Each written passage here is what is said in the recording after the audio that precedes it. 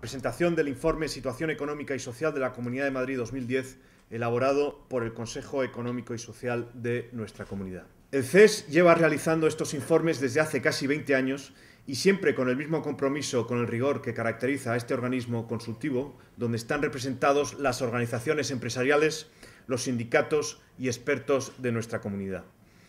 Estos informes se están elaborando con el fin de servir de herramienta de análisis para cualquier persona interesada en conocer de una forma sencilla pero incisiva la evolución económica y social de nuestra región.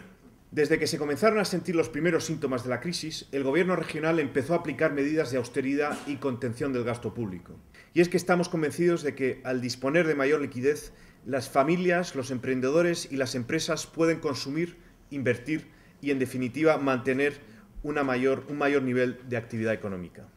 En los últimos cuatro años, nuestra región ha recibido el 72,7% del total de las inversiones extranjeras llegadas a España, es decir, tres de cada cuatro euros. En lo que va de 2011 hasta julio, la Comunidad de Madrid concentra el 21,5% del total de empresas creadas en España, sumando 11.450 nuevas empresas. Es decir, Casi una de cada cuatro empresas creadas en España lo han sido en la Comunidad de Madrid en lo que vamos de año. Como constata el informe que hoy, se presenta, la economía de la Comunidad de Madrid mostró en 2010 un mejor comportamiento que la del conjunto de España, en todas sus grandes magnitudes, lo que confirma a nuestra región como la primera economía española.